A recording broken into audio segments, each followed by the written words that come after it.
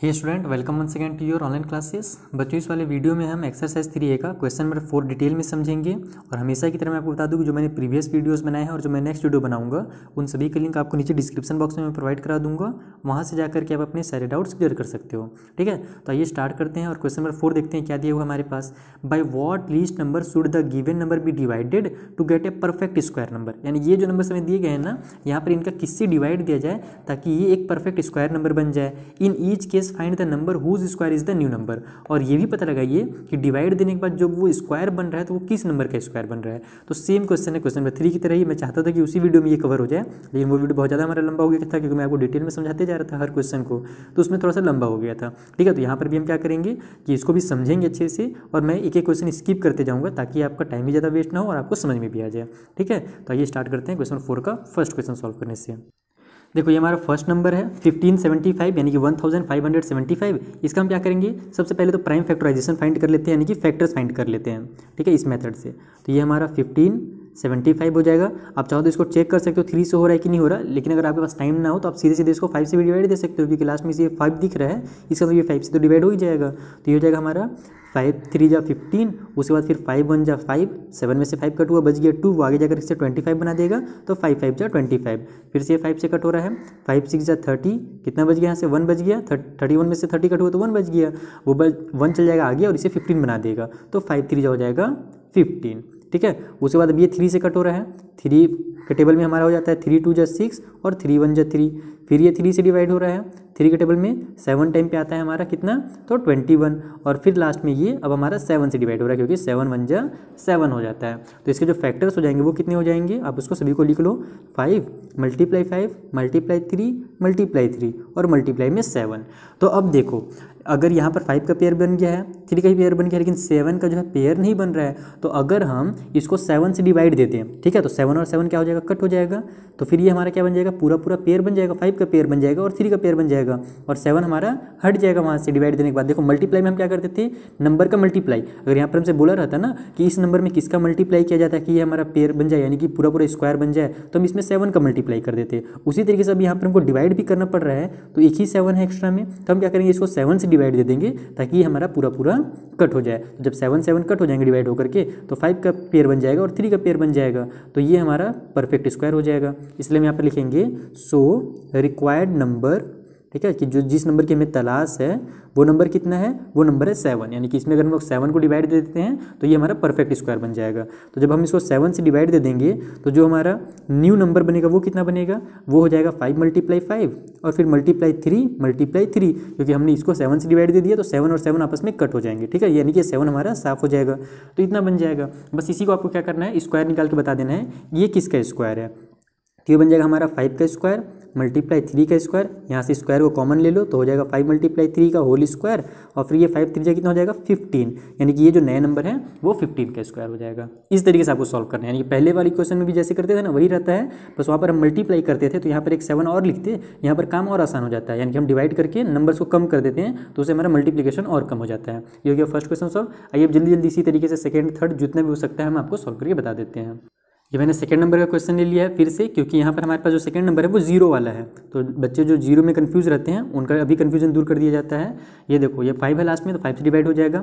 Five one जा five हो जाएगा फोर बज गया, वो आगे जाकर इसे फोर्टी बना देगा तो फाइव एट जा फोर्टी फिर ये सेवन है तो फाइव वन जा फाइव होगा, और फिर यहाँ पर सेवन में से फाइव कट हो गया टू बज गया, वो आगे जाकर इसे ट्वेंटी फाइव बना देगा। तो फाइव फाइव जो हो जाएगा हमारा ट्वेंटी फाइव देन ये फिर फाइव से डिवाइड हो रहा है, फिर फाइव से कर लो इसे डिवाइड फाइव थ्री जा फिफ्टीन यहाँ एटीन में से फिफ्टीन कट हुआ बज गया थ्री वो आगे जाकर इसे थर्टी वन बना दिया तो फाइव सिक्स जा थर्टी फिर वन बज गया, वो आगे जाकर इसे फिफ्टीन बना देगा तो फाइव थ्री जा फिफ्टीन अब ये हमारा थ्री से कट हो रहा है थ्री से कट लो। थ्री वन जा थ्री थ्री टू जा सिक्स और थ्री वन जा थ्री हो गया। देन अभी हमारे किससे होगा? One hundred twenty one direct eleven से ही होगा। क्योंकि मैंने आपको बोला है ना कि टू से लेकर के ट्वेंटी तक के सारे स्क्वायर याद कर लो, वो बहुत ज़्यादा आपको काम आता है। तो यहाँ पर ये अब किसी नंबर से कट नहीं होगा डायरेक्ट इलेवन से होगा। और इलेवन से कितने टाइम पे होगा? इलेवन टाइम पे। इलेवन इलेवन जा वन होता है। एंड लैंड लास्ट में ये इलेवन वन जा इलेवन हो गया। तो इसके जो फैक्टर हो जाएँगे नाइन के वो कितने हो जाएँगे? Five multiply five multiply three multiply eleven multiply eleven तो अब यहाँ पर अगर हम लोग थ्री से इसको डिवाइड दे दें पूरे नंबर को तो थ्री और थ्री कट हो जाएगा। यानी कि हमको यही पूछा था ना कितने से डिवाइड दिया जाए तो हम इसको क्या करेंगे? थ्री से डिवाइड दे देंगे, ताकि हमारे ये थ्री कट हो जाए, क्योंकि ये इसका पेयर तो बन गया है। इन दोनों का पेयर बन गया, केवल इस थ्री का ही पेयर नहीं बन पा रहा है। तो इसी को हम लोग को कट करना है तो थ्री से डिवाइड दे देंगे। तो हम यहाँ पर लिख लेते हैं। सो रिक्वायर्ड नंबर ठीक है? जो नंबर की हमें तलाश है, वो कितना है? तो वो थ्री है। यानी कि जब हम इसको थ्री से डिवाइड दे देंगे तो ये जो हमारा नंबर है ना, ये परफेक्ट स्क्वायर हो जाएगा। तो हमारा जो न्यू नंबर रहेगा ना, वो कितना हो जाएगा? वो हो जाएगा फाइव मल्टीप्लाई फाइव ये थ्री हट जाएगा, बच गया इलेवन मल्टीप्लाई इलेवन तो हो जाएगा हमारा फाइव का स्क्वायर मल्टीप्लाई में इलेवन का स्क्वायर यहाँ से फाइव मल्टीप्लाई इलेवन का ये पूरा पूरा स्क्वायर कर लो तो फाइव इलेवन जाए कितना हो जाएगा हमारा फिफ्टी फाइव हो जाएगा। यानी कि जो नया नंबर बनेगा, वो फिफ्टी फाइव का स्क्वायर होगा। देखा कितना सिंपल था सेम मल्टीप्लाई की तरह ही है, बस यहाँ पर हमको कट करके नंबर को कम कर देना है। आइए कुछ और क्वेश्चन लेते हैं, जिसमें क्वेश्चन नंबर फाइव बताता हूँ आपको। थ्री और फोर तो सिंपली आपसे सॉल्व हो जाएगा। ये जो फाइव है, यहाँ पर डबल ज़ीरो है ना, ये डबल ज़ीरो को सॉल्व करते हैं। देखो हमारे पास कितना है फोर थाउज़ेंड फाइव हंड्रेड है। ये भी ज़्यादा मुश्किल कुछ नहीं रहता है। देखो, सब अगर आप सॉल्व करना सीख गए ना तो कोई भी क्वेश्चन आपके लिए मुश्किल नहीं है। अगर आपको सॉल्व करना नहीं आ रहा है तो टू प्लस टू भी आपके लिए बहुत ज़्यादा मुश्किल काम है। ठीक है? तो सॉल्व करना सीखो, बाकी फिर जितने भी क्वेश्चन बचेंगे ना, वो आप खुद से बना सकते हो। ये देखो हमारा फोर्टी फाइव है। तो किसके डिवाइड टेबल में आ जाएगा फाइव के टेबल में आ जाएगा। लास्ट में ज़ीरो है तो फाइव के टेबल में आ ही जाएगा फाइव नाइन हो जाएगा फोर्टी फाइव और ये ज़ीरो ज़ीरो उतर जाएँगे। फिर ये हमारे पास लास्ट में ज़ीरो फिर से फाइव के टेबल से डिवाइड हो जाएगा। फाइव वन जा फाइव हो जाएगा। यहाँ पर कितना बच गया? फोर बच गया। वो आगे जाकर के इसे फोर्टी बना देगा। तो फाइव एट जा फोर्टी और ये फिर से ज़ीरो उतर गया।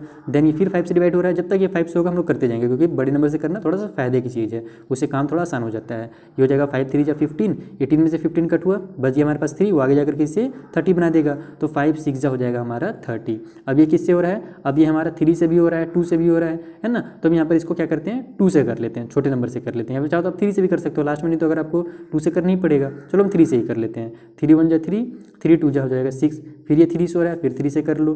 थ्री के टेबल में थ्री सिक्स जा हो जाएगा हमारा, थ्री सिक्स जा बोलो सॉरी थ्री फोर जा ट्वेल्व। अब देखो, हमको टू से करना ही पड़ेगा ना तो वही है कि आप पहले अगर टू से करते हो तो भी ठीक है, नहीं करते हो तो बाद में आपको टू से करनी पड़ेगा। तो टू टू जा फोर हो जाएगा और फिर लास्ट में टू वन जा टू। तो इसके जो फैक्टर्स निकल गया, फोर थाउज़ेंड फाइव हंड्रेड के, वो कितने निकल गए?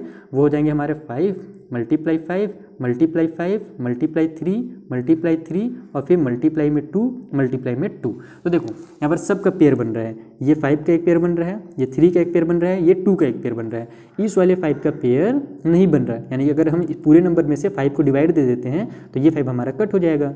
ठीक है? इसका मतलब हम किससे डिवाइड देंगे? फाइव से डिवाइड देंगे। तो सिंपल यहाँ पर हम लिख लेते हैं। सो रिक्वायर्ड नंबर आर में लिख देता हूँ शॉर्टकट में। वो कितना है? फाइव है हमारा। ठीक है? यानी कि अगर हम इसको फाइव से डिवाइड दे देंगे तो ये हमारा कंप्लीटली परफेक्ट स्क्वायर बन जाएगा। अब ये परफेक्ट स्क्वायर तो बन रहा है तो न्यू नंबर कौन सा हो जाएगा? किसका स्क्वायर बनेगा? वो जाने के लिए हम क्या करेंगे?